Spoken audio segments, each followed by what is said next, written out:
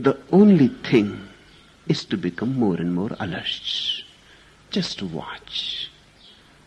You see greed arising in one way, watch it. Don't try to stop it. Otherwise it will arise in another way. It may choose just the opposite so it can deceive you.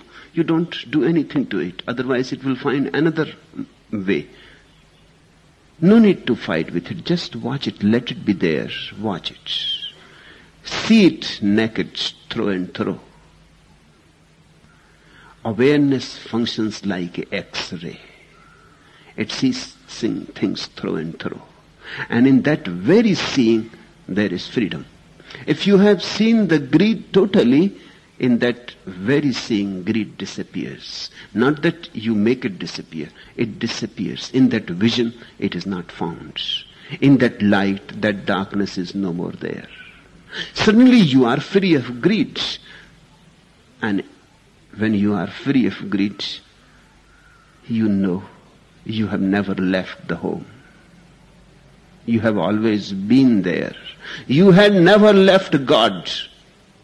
Adam has never been expelled from the Garden of Eden. He still lives there.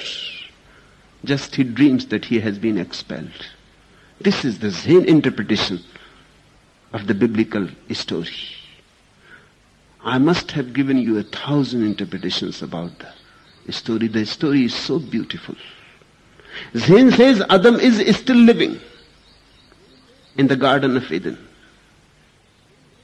The snake has not tricked him into sin. The snake has only tricked him into a dream.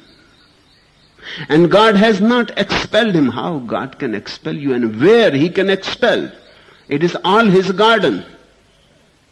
Where you will be, wherever you will be, it will be his garden. So he, where he can expel. And how God can expel? Expelling Adam, God will be expelling himself, a part of himself. He will fall into parts. No, it is not possible. Then what has happened? Adam has fallen asleep. Eating the fruit of the tree of knowledge, Adam has fallen asleep and is dreaming that God is very angry. It is his own dream. It is his own idea. It is his own guilt. It is his own mind that I have broken the rule. That I had promised and I have broken my promise. Now he is trembling and feeling guilty. And in the sleep, the guilt is creating a dream that God is very angry. He is projecting his guilt on God. His guilt is becoming God's anger in his mind. Naturally, God must be very angry and he is expelling him. And he has expelled him. The gates are closed and Adam is thrown into the world. But it is just a dream. The moment Adam becomes awake, he will laugh.